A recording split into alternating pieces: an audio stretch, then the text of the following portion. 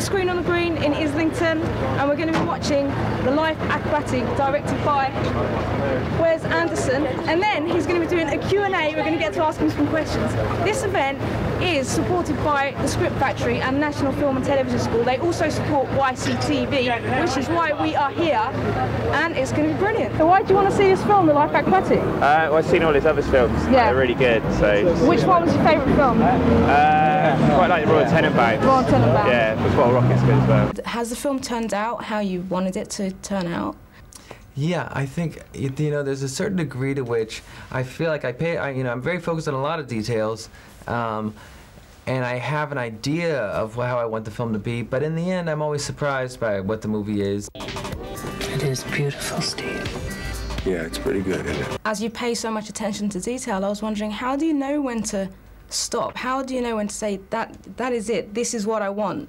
That's what I want this character to be like, or that's what I want that shot or that set or Yeah, whatever well, to look like. all the all the different uh, ele- elements of the movie go through. The, you know, there's a writing process, which is a long one, and we put a lot of detail and specify a lot of things in that. And then I plan out the way we're going to shoot the movie.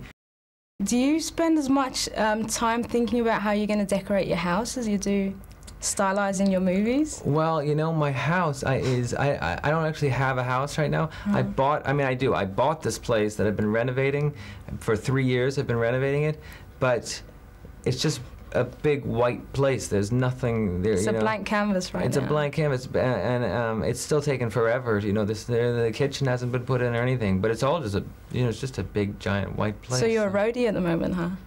Yeah, I've been a roadie for um, my whole life.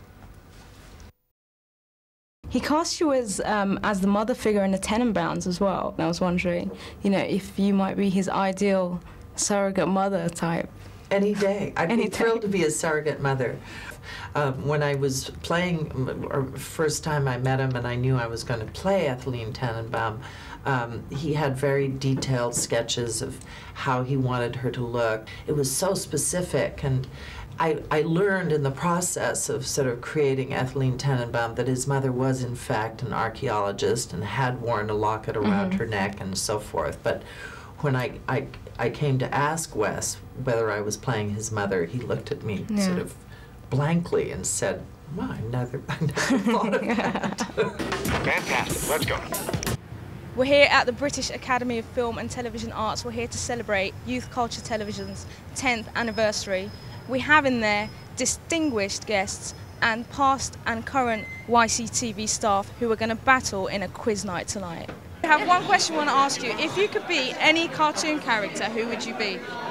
Betty Boop. Betty Boop? Yeah. Why Betty Boop? Because she's sexy she's always in black and white and she always looks good and she has that beauty spot right there. Yeah. So, yeah, Betty Wicked. Did you used to watch her when you were younger? No, but I bought No? the t-shirts. Oh, wow, She's okay. before my time, but I bought the t-shirts. Do you want to say who you are? Uh, I'm Ian Patterson, and uh, I'm from Atos Origin, and we're sponsoring this event. Fabulous. You did you did the um, Olympics technology. We and do, the, thing, yes, we're the? IOC partner for the Olympics. Brilliant. So we will be doing Paris or Rome. Sorry, Paris or London, even. Paris or London. I hope it's London. We'll wait and see. I hope so. The question is, if you could be any cartoon character, who would you want to be? Oh wow, cartoon characters. Uh, uh, Roadrunner. Roadrunner. Roadrunner. Okay. Does that win a prize? No, not was really. supposed to look at you here. We might be able to like squeeze in a raffle. Squeeze a raffle one. Okay. Thank you.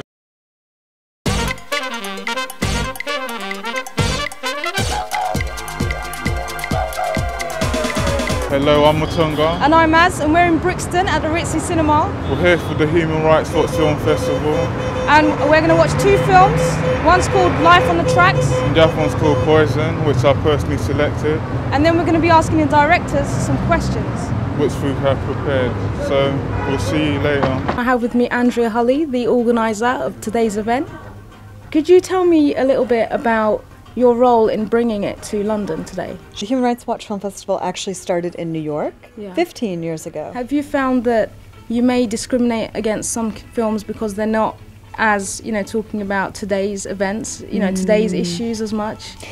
That, actually, funny enough, I don't think we at the festival discriminate about that at all. Mm-hmm. Right, we've got our tickets and we're just about to go and see the films. Very excited, excited. Yeah. Here we go.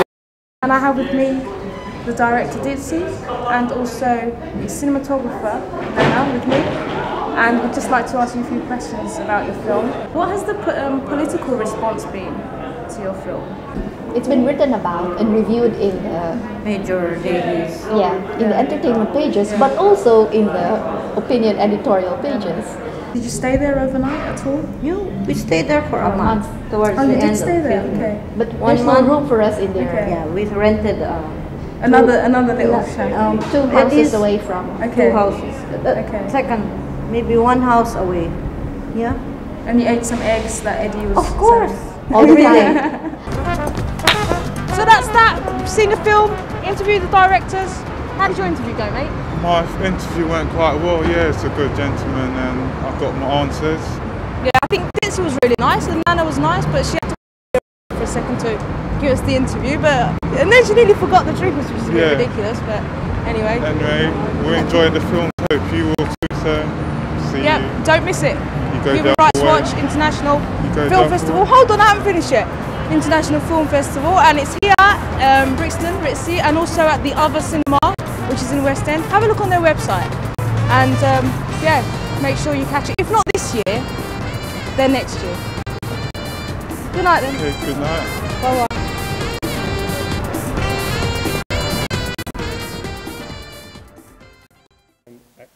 They will all see what a brilliant mastermind I am when I'm through.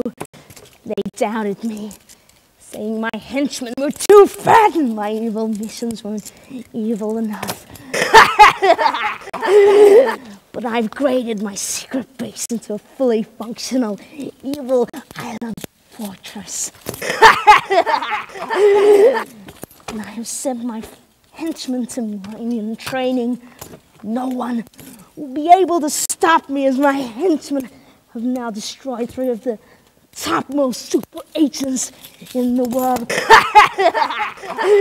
Plus, with the addition of my new secret ultimate doomsday device, I will be unstoppable in my quest to conquer the world. In the PC game Evil Genius, take over the world one dastardly plan at a time. Really, who wants to be the good guy? They can't stop me now.